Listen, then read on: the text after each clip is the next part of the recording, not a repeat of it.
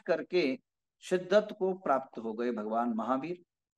भगवान महावीर पावापुरी दिव्य सिद्ध क्षेत्र से निर्वाण को प्राप्त हो गए और लोगों ने इतनी भक्ति की कि वहाँ की मिट्टी उठा उठा करके वहाँ तालाब बन गया। इतनी विशाल जो है वह आज भी वहाँ चमत्कार आपको देखने को मिलता है। जैसे भगवान मोक्ष का समय हो जाता है, छत्री अपने आप घूमने लग जाती है। छत्र अपने आप में हिलने लग जाता है। ये महावीर भगवान का आज भी जो है निर्वाण कल्याण का विशेषता देखा जाता है। उसी समय अग्निदेव आकर के जो भी नक केस बैठे बचा था, उनको जो है अग्नि स्पर्श कराते हैं और बाकी देह जो है कपूर की तरह पूरा विश्व के अंदर बिखर जाता है, कपूर की तरह विलीन हो जाता है। और निर्वाण कल्याण उत्सव सुबह हो जाता है। मोद मनाते हैं और आनंद मनाते हैं और उत्साह मनाने के साथ ही भगवान का निर्वाण कल्याणक का कल्याणक मनाते हैं इंद्र आदि चतुर्निकाय देव और श्रावक श्राविका लोग। उसके बाद जो है संध्या के समय जो उनके शिष्य गौतम गणधर प्रमुख थे, उनको केवल ज्ञान हो जाता है। और केवल ज्ञान अभी सुबह निर्वाण लड्डू चढ़ाया और शाम को जो है केवल ज्ञान होने के बाद प्रतिष्ठा शास्त्रों में आप देखिए, जब भी पंच कल्याण होता है समोषण होने के बाद इंद्रों का आगमन होता है। और वो इंद्रों का आगमन होने के बाद शत्रुन काय देव आने के बाद जो प्रमुख राजा श्रेणी का आदि आकर के, अनेकों जो भक्त वर्ग आदि आकर के उनके जो है पूजा करते हैं। भगवान का गौतम गणधर का पूजा करते हैं और उसके बाद विशिष्ट पूर्ण जो समोशरण था, समोशरण की पूजा होती है बाह्य रूप में तो अंतरंग लक्ष्मी और बहिरंग लक्ष्मी, अनेक साहित्य ग्रंथों में समोषण को बाही लक्ष्मी माना है और अंदर जो है चतुष जो घातीय कर्म आदि चार नाश हुए प्रभु गौतम के, उनको लक्ष्मी अंतरंग माना है। तो अंतरंग लक्ष्मी, बाह्य लक्ष्मी स्वरूप जो है, उनकी पूजा हुई और वही प्रथा जो है, शुरू हुआ। और रिद्धि सिद्धि के प्रतीक गौतम गणधर को माना है। भगवान गौतम गणधर की जो आराधना करता है, भगवान गौतम का जो समन करता है, उनके घरों में कभी भी जो है, रिद्धि और सिद्धि कभी कम नहीं हो सकती। आरोग्य और ऐश्वर्य कभी कम नहीं हो सकता है। न खाने की कमी हो सकती है, न जीने के लिए धन की कमी हो सकती है, न रहने के लिए घर की कमी हो सकती है, न घूमने और फिरने के लिए वाहन की कमी हो सकती है। भगवान गौतम गंधर की जो ध्यान करता है जब करता है, आराधना करता है, सबसे समृद्धि वाले जो कोई अगर कोई है तो भगवान गौतम गणधर है। तो और इसलिए जो है रिद्धि के संपन्न, मैंने कई बार कहा, अगर आपके घरों में रिद्धि प्रकट हो जाए, वो कभी आपके जीवन को छोड़ के नहीं जा सकती है। मंत्र की साधना कभी छूट सकता है, प्रवृत्ति कभी छूटता नहीं है। तो आइए, यही जो है संस्कृति और संस्कार हमारे भारतीय संस्कार के हर जैन के घरों में होना चाहिए और शाम के टाइम पर लक्ष्मी पूजन होना चाहिए। अब पहले दिन करते हैं, वो हिंदू परंपरा के अनुसार है। वो जो भी प्रदूष काल, वो काल, ये काल, वह जो है भी हमारी संस्कृति नहीं है। ये जो है संस्कृति, अः अन्य धर्मों की संस्कृति है। वास्तविक जो है निर्वाण लाडू होने के बाद ही संध्या के समय लक्ष्मी पूजन होता है तो वो लक्ष्मी पूजन समोषण के पूजन के प्रतीक रूप में होता है। और लक्ष्मी के बाद सरस्वती की पूजा होती है, गौतम गणधर जो है साक्षात जो है, महावीर के संदेश को ग्रहण करते थे और वो ग्रहण कर करके आप तक पहुंचाते थे। उस स्वरूप जो है, द्वादशांग माँ सरस्वती के स्वरूप में वहाँ जो है, पूजन अर्चन की विधान आता है। समोषण लक्ष्मी स्वरूप पूजन होती है, लक्ष्मी का और जो है, सरस्वती को जो है जिनवाने के स्वरूप में उस दिन पूजा होती, लक्ष्मी सरस्वती दोनों पूजा उसकी ग्राह्य है, मानी गई है तो करनी चाहिए मेरे अभिप्राय है। अब आपके जीवन में समृद्धशाली, अब एक कलशा स्थापना के करना चाहिए। लक्ष्मी पूजन के समय कलशा स्थापना का एक विधान आता है। और कलशा जो है, श्रीफल कहा जाता है। ऊपर श्रीफल रखा जाता है। और श्रीफल की महिमा मैं आपको आज बताऊँ वो भी एक महान लक्ष्मी का प्रतीक है। वो भी श्रीफल श्रीमान बनाने के लिए बहुत जो है आ, ये कहा जाता है। कोई नारियल कहते हैं वो नारियल के कहते हैं कोला कहते हैं कोकोनट कहते हैं गरी कहते हैं गोला कहते हैं खोपरा कहते हैं श्रीफल आदि अनेक नाम इसके जाने जाते हैं। श्रीफल श्रीफल श्री यानी लक्ष्मी। और उसको फल देने वाला अगर कोई फल है, वो श्रीफल है। श्रीमान बनाने वाला, श्रीमंत को बनाने वाला, समृद्धिशाली बनाने वाला कोई फल है तो वह है श्रीफल। श्रीफल देने से, रखने से श्रीवान बन सकते हैं और उसमें एक श्रीफल होता है, एकांक्षी एक आंखी फल। इसको मैंने कई बार प्रयोग किया, ये सत्य है। वो मैंने कई लोगों को दिया तो बहुत लोगों की गुणकारी और काम, अनेकों काम हुए। जो कभी सोच नहीं सकते, कभी कल्पना नहीं कर सकते। श्रीफल का जो है आमतौर पर, सामान्य तौर पर श्रीफल जो है, उसकी तीन जो है रेखाएँ होती है। परंतु एक आँख का, तीन जो होता है, दो आँख होता है, एक मुँह होता है। श्रीफल का इतना टेंके इतना जरा। तक। हाँ तो जो है श्रीफल जो होता है, उसके दो आँख और एक मुँह होता है। और एक अंश में क्या होता है? केवल आँख एक होता है, एक मुँह होता है और एक जो है आँख होता है। कई लोगों की मान्यता है कि दोनों नेत्र खत्म हो कि मुँह होता हो तो अंधा होता है। ध्यान रखना है कि अपने को एकांक से नारियल का फल ये है, अगर आपको मिलना बहुत कठिन है और किसी के भाग्य से एकांक्षी एक आँख का नारियल मिल जाता है तो आप समझिए आपके जीवन में समृद्धि को आने में कोई रोक नहीं सकता है। आपके घर में खाने, खिलाने और आपके जीवन में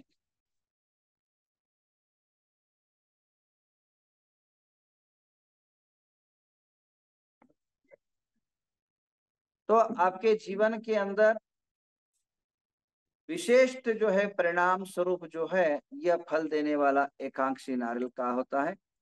तो अब जो है यह इसका विधि क्या होता है? धनतेरस के दिन इसको घर में लाइए और उसको घी और सिंदूर लगा करके एकांक्षी नारियल को, एकांक्षी नारियल का, अब देखिए, एक, ये एकांक्षी नारियल है। देखिए, यहाँ मुँह है और ये एक आँख है और इसकी जो रेखा है, इसकी पहचान है, ये यहाँ ऐसे डंडी जाती है और एक यहाँ से डंडी जाती है। ये आँख का है हाँ ये आँख का है और नॉर्मल टैंकर था आ, ये जो है अपना ये मुँह का है। ऐसे दो ही धारी होती है तीसरी धारी होती नहीं। और दिक्कत क्या हो जाता है कई लोग आजकल डुप्लीकेट मिल जाते हैं। कई लोगों की क्या कर देते हैं इसको घिस करके इसको भी जो घिस करके डुप्लीकेट बनाने वाले मार्केट धंधा बहुत चलता है। और बिरला ही मिलता है अगर मिल जाता सत्य रूप में मिल जाता है तो निश्चित रूपे धन धान्य समृद्धि आपके घरों में रहती है, उसको सिंदूर लगा करके, अगर लक्ष्मी पूजन में रख करके, उसको लाल कपड़ा या चांदी के अंदर उसको रख करके आपके घर में अगर तिजोरी के पास अगर एकांक्षी नारियल रह जाता है, वो जब तक नारियल आपके घरों में रहता है, आपके समृद्धि कमी कमी नहीं हो सकती है। कभी भी जो है, आपके यहाँ उसका महिमा ये है कि आप देने के लिए और खाने के लिए और जीने के लिए कभी भी जो है आपको दिक्कतें महसूस नहीं करोगे। वह श्रीफल आपको श्रीमान बनाते रहेगा जब तक उसकी ताकत सामर्थ्य है। उसको जो है आप कुछ जाप है, उसको जाप पे करते जाइए। वो कुछ भी नहीं आता है तो ओम रीम नमः जाप पे करिए उसके सामने 108 माला और वह अभिमंत्रित होकर के आपको अभिभूत करेगा, जीवन को सार्थक करेगा। इसके अलावा हल्दी हल्दी जो है हल्दी भी जो है शुभ लक्ष्मी के पूजन के टाइम पर हल्दी ज़रूर रखिए। हाँ, ये देखिए ये जो है नॉर्मल नारियल है। ये देखिए ये नॉर्मल नारियल है। ये नॉर्मल नारियल है देखिए ये दो एक दो आँखें हैं और एक नाक है उसके बाद ये मुख है ये जो है एक मनुष्य की आकृति टाइप का दिखता है। एक आँख एक आँख इधर एक आँख और एक मुँह। ऐसे जो है नॉर्मल ये इसको क्या है नॉर्मल आप देखते ही आपके घरों में अगर नारियल होगा तो इसी प्रकार होता है। कई लोग क्या समझते हैं एकांक से नारियल का अर्थ होता है, ये दोनों आँख निकालना केवल मुँह रह जाए तो उसको एकांक वो अंधा होता है। यहाँ केवल मुँह होना चाहिए और एक आँख नहीं होना चाहिए, इसको एकांक से नारियल जो है, इसको कहा जाता है। इसको जो है आप अगर कहीं मिल जाता है तो भाग्य समझिए और सौभाग्य को बढ़ाने के लिए अगर कहीं नारियल फोड़ते समय कहीं बड़े बड़े दुकानों में जहाँ बहुत नारियल का लेन देन होता रहता है, वहाँ इसको मिल जाता है। इजी मिल जाता है परंतु बड़े बड़े जगह मिलता है, सामान्य तौर पर सब डुप्लीकेट मिलता है। अब आइए, आप सभी को इसका जानकारी दिया। अब हल्दी की महिमा बताऊँ। हल्दी ऐसे आरोग्य कारक होता है। आप सभी लोग ऐसे कोई भी भारत देश के अंदर हल्दी के बारे में ना जानते हो, ऐसा नहीं है। सभी लोग जानते हैं। और हल्दी जो है अगर आपकी काली हल्दी के बारे में परसों बताया था और काली हल्दी मिल जाए तो ठीक है, अगर नहीं मिलता है तो सामान्य तौर पर जो हल्दी होती है, उसको क्या करें? साहित्यकार लिखते हैं कि इस हल्दी को जो है, ले ले, एक नए गांठ ले लीजिए हल्दी और पीले रुमाल के अंदर उसको रख दीजिए। पीला रुमाल जो होता है, पीला कपड़ा होता है या कुछ भी पीला वस्तु के जो रंग के कपड़े आपके पास होंगे तो उसको लीजिए। उसमें हल्दी से रंगे हुए पीले चावल जो है उसके अंदर डाल दीजिए। और उसके बाद हल्दी से रंग करके, हल्दी से रंग करके जो गोला होता है कोबरा होता है, उसको पूरा हल्दी से रंग दीजिए। उसको भी पीले कपड़े में रख दीजिए। उसके अंदर पाँच सुपारी, हल्दी से रंगे हुए से पाँच सुपारी रख दीजिए। तत्पश्चात जो है दीप धूप दिखा करके उसके अंदर सिक्का चांदी का सिक्का उसके अंदर रखिए। उसके बाद जो है, रुमाल करके बाँध के, बाँध करके और ओम श्रीम श्री नमः, ओम श्रीम श्री नमः, ओम श्रीम श्री नमः। यश कीर्ति समृद्धि। आपके जो है, इससे क्या होगा? यह से अनेक एक जगह बाँध दीजिए। घर के जो दरवाज़ा है, आने जाने का दरवाज़ा है, इसको ये गोला बाँध दीजिए। इससे सभी प्रकार के विघ्न नाश होंगे। आरोग्य, हेल्थ, उसके अंदर निकलने वाले जो रेंज है, उसके निकलने वाले तरंग है और मंत्र शक्ति से उसके आपके घरों के अंदर जो आने वाले शारीरिक है, मानसिक है, जो कष्ट है, वो नाश को प्राप्त होगा। और इसी प्रकार लक्ष्मी जो है, अगर इसको अगर हम तिजोरी में रखते हैं तो और उसको धूप दिखाते हैं तो निश्चित रूपे न वह आपके जीवन में धन धान्य कार्य बनेगा।